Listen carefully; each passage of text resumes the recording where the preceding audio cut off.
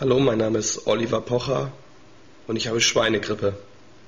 Und ich habe gerade mal Fieber gemessen, nachdem ich mein zweites Tamiflu genommen habe. Und ich sehe hier entspannte 39,9. So, meine Damen und Herren, es ist jetzt äh, halb drei. Mein Fieber ist mittlerweile auf entspannte 40,1 gegangen. Deswegen gehe ich jetzt hier äh, zum Arzt und äh, krieg schön noch Infusionen und bin sehr gespannt, was jetzt noch alles passieren wird. Es wird ein lustiger Nachmittag werden. So, ich hänge jetzt hier am Tropf, kriege das ein oder andere an Flüssigkeit wieder rein und dann hoffe ich, dass es einem später besser geht. Und das Schöne ist, man hat einen Riesenkopf und gar keinen Bock, irgendetwas zu erzählen. So, ich war jetzt beim Arzt und äh, mein Fieber ist mittlerweile runtergegangen von 40 auf 37,5 Grad. Trotzdem schwitze ich noch wie ein Schwein. Daher höchstwahrscheinlich auch der Begriff Schweinegrippe. So, meine Damen und Herren, äh, auch ich habe heute Morgen mein Corona-Testergebnis bekommen und auch ich bin positiv auf Corona getestet. Das äh, war mir eigentlich mehr oder weniger klar. Aber jetzt weiß ich es schwarz auf weiß und ähm, ja, das, ähm, wie gesagt, damit war zu rechnen, aber jetzt ist es halt so, wie es ist.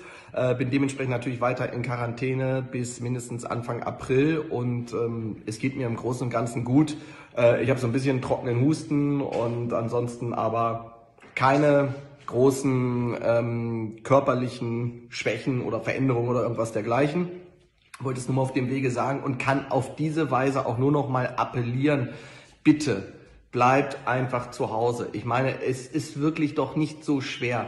Ähm, noch vor Jahren oder Jahrzehnten mussten Leute äh, für eine gute Sache kämpfen, indem sie irgendwie eine Waffe nehmen und in den Krieg gegangen sind oder irgendwas anderes. Heutzutage geht es nur darum, dass man mit dem Arsch einfach zu Hause sitzen bleibt und das war's. Und auch diese Argumentation, ich weiß gar nicht, was ich jetzt die ganze Zeit zu Hause machen soll. Ich meine, das hieß früher Hausarrest, ist man zu Hause geblieben und da hatte man nichts kein Gameboy, kein iPad, keine Playstation, keine 20 Fernsehsender. Wir hatten ARD, ZDF und das äh, Nachmittagsprogramm ging erst um 14 Uhr los und dann war man froh, wenn Heidi gelaufen ist. Ja? Und auch für alle Spinner, die es jetzt immer noch nicht kapiert haben, die draußen rumlaufen, eine Grillparty machen, Corona oder irgendwas anderes.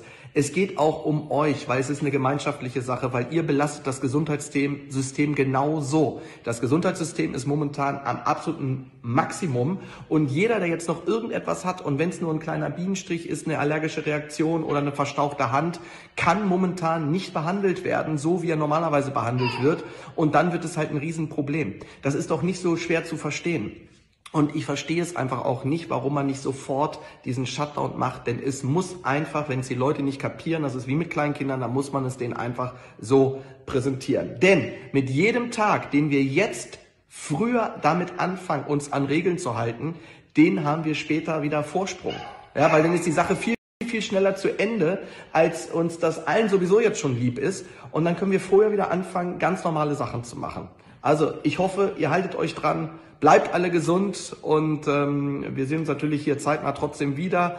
Ähm, und keine Angst, ihr Influencer, ich mache weiter. Nur weil ich Corona habe, hört es nicht auf. Und ich weiß, bis vor einigen Wochen war noch vieles egal, aber mittlerweile ist vieles nicht mehr egal. Man muss sich an ein paar Regeln halten. Also ich hoffe, ihr macht es und äh, bis demnächst.